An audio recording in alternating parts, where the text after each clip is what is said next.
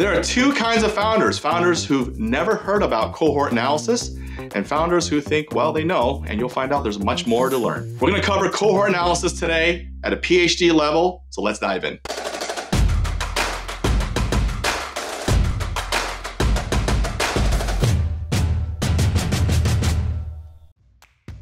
Hi, everyone.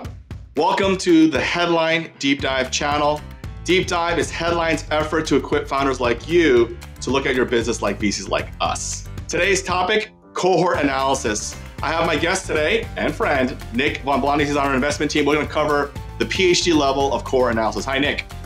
Hey, Conrad. Thanks for having me, and I'm excited to talk about a topic I've spent way too much time with over the last couple of years. Can you share the boilerplate definition of what a cohort is and why analyzing is important? Absolutely. So, first, defining the word cohort. A cohort is effectively a subgrouping from a broader population based on a specific characteristic. And in the business context, the most common way of cohorting something is the customers of a business and grouping them around based on when did they first become active with a given business. All customers that started out for the first time in July 2019 form the July 2019 cohort. In the next month, there'll be a new cohort and a new cohort and a new cohort. When I ran my own business as a founder, we, there were many metrics that we had to juggle. We had to do a, think about or overall growth, month to month churn. Honestly, cohort, I knew about it, but it wasn't on the top of my list. Now being here on the VC side, it is on the top of our list.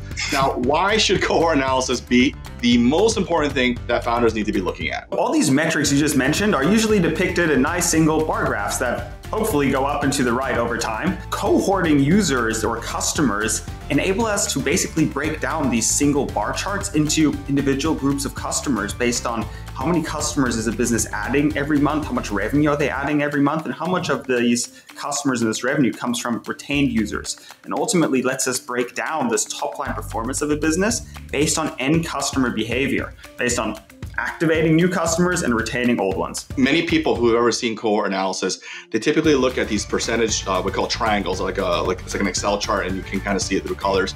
We here at on Deep Dive, we actually look at it through what we call a layer cake. I actually think the layer cake is the better way to looking at it because you can get to see sort of how the business is built ground up. Deep Dive is a great way to visualize cohorts. This is a Deep Dive platform. Right at the top here, we have the what we call cohort layer cake for the very visual reason that you can see on the screen here.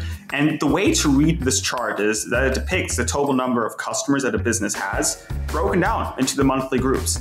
And if we start all the way here on the left in the first life month here, or the first month of data that we have here, July 2019, we can see that this business added 64 new customers in July 2019. This is the July 2019 cohort.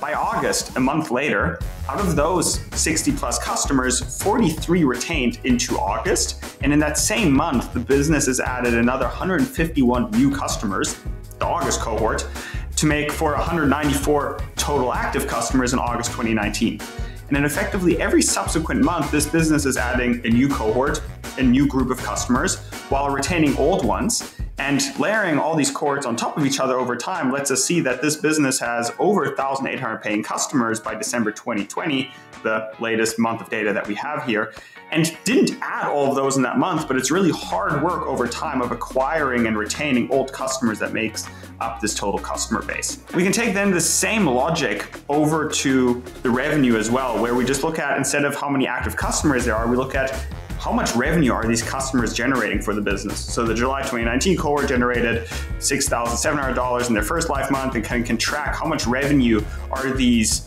cohorts generating over time, layering them on top of each other to get to the total MRR base of close to $200,000 here by December 2020. And it's the stability of these layers that are building up the foundation. Each foundation builds up the next foundation and you keep you going. And it's almost like the enterprise value of the company. I want to convince you all founders that this way of looking at your cohorts actually is the best way because you can see sort of that foundation being built up. Now, there's an analogy we use internally here at Headline and we use we call it the annuity analogy. Defining annuities, annuities are usually financial products often associated with retirement plans and is effectively a product that pays out a certain amount of money at a certain interval. If we think about monthly subscription businesses or, you know, businesses with recurring revenue elements, these customers in some sense act as an annuity. We look here and you, you know, this business acquires you know, new revenue, $6,720, and then out of the July cohort, and then, you know, earn $6,000 after the second month, then it kind of goes down to $5,000. But in the long term, they keep generating $4,000